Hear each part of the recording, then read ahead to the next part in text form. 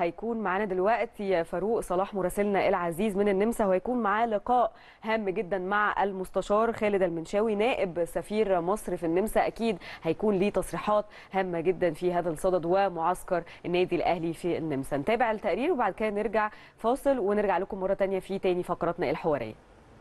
كل التحيه لكل مشاهدينا مشاهدي ومتابعي شاشة قناة النادي الأهلي في كل مكان. مستمرين مع حضراتكم عبر شاشة قناة النادي الأهلي وتغطيتنا الحصرية لمعسكر إعداد النادي الأهلي الموسم الجديد هنا في النمسا.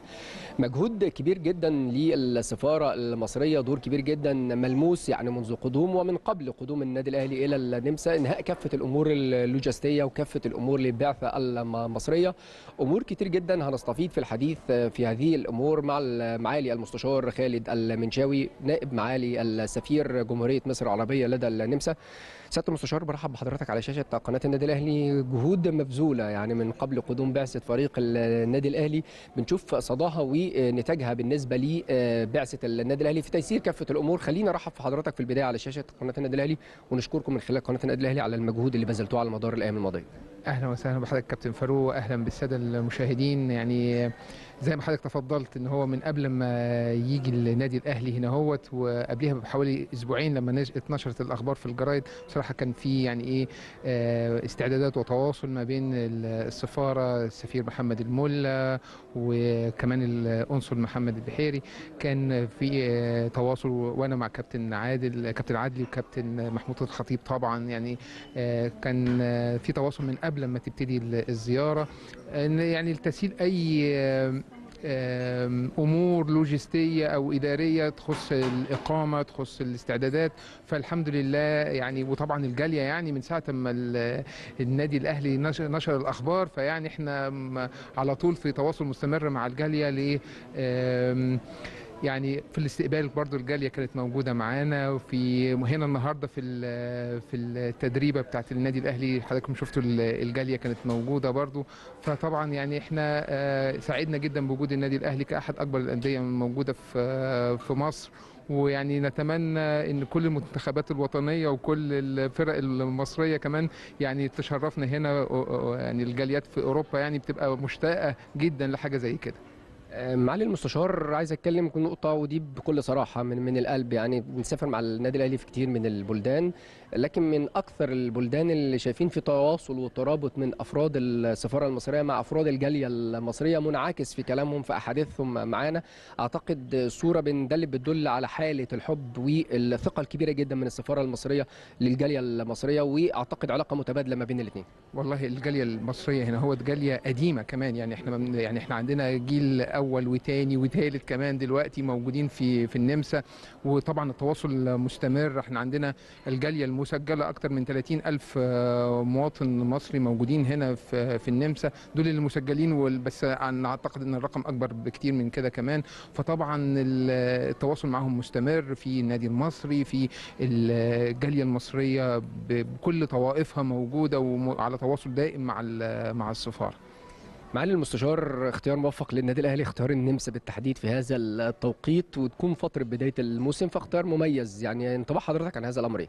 والله يعني الجو حاليا الحمد لله جو مناسب جدا لعمل معسكر في النمسا حضراتكم شفتوا المناظر الطبيعية الخلابة. يعني وكمان المكان بتاع الإقامة بتاع الفريق منعزل يقدروا اللعيبة تركز في التدريبات بتاعتهم. وإن شاء الله ده يكون يعني بداية موفقة للي جاي إن شاء الله بقى سواء في الطائف أو بعد كده في أفريقيا وكأس العالم للأندية. كل التوفيق إن شاء الله. معالي المستشار حطينا في الصورة أكتر بخصوص المباراة الودية اللي هتكون يوم الثلاثاء القادم. هتبقى هي ختام المباراة الودية للنادي الأهلي الترتيبات اللي بتتم الأمور الخاصة بهذه المباراة للجالية المصرية. والله حتى الآن إن شاء الله في بعد بكرة يوم 5 سبتمبر في ماتش في مدينة جراتس هي حوالي ساعتين بالعربية من من فيينا وحوالي نص ساعة من من من مكان إقامة الفرقة هنا اهوت هتتذاع الساعة 5 بتوقيت فيينا.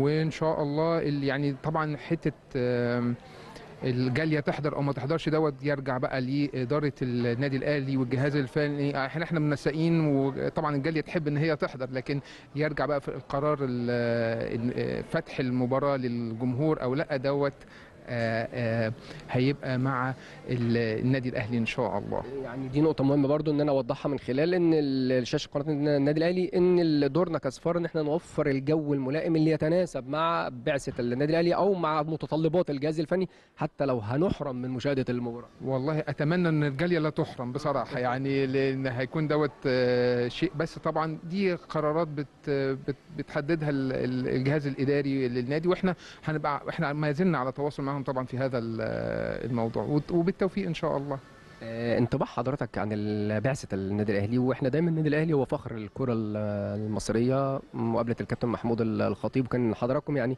كنتوا في استقبال البعثة وأيضا كنتوا في استقبال الكابتن محمود الخطيب قيمة والقامة الكبيرة للكابتن محمود الخطيب. والله الكابتن محمود الخطيب يعني يعني أسطورة من أساطير الكره المصرية. يعني مش بس للنادي الأهلي ولكن لمصر كلها طبعا. يعني فده يعني حاجة جميلة جدا. وقد إيه يعني شخصية يعني ما شاء الله عليه شخصية فاخرة جدا يعني فسعدنا جدا بوجوده.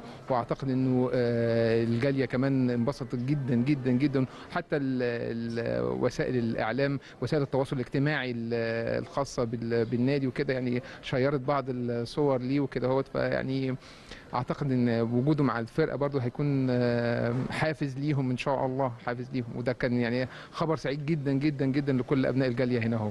مستر كولر يعني بالأمس في الجولة الحرة كان سبق لي تدريب منتخب ال- النمسا فبيتمتع بشعبية جارفة هنا في النمسا. في احاديثه مع بعض الجماهير قال لهم أنا بدرب أكبر نادي في إفريقيا أعتقد أمر كبير جدا وشهادة كبيرة جدا للنادي الأهلي والمستر كولر نفسه إن هو يتولى تدريب ال- النادي الأهلي.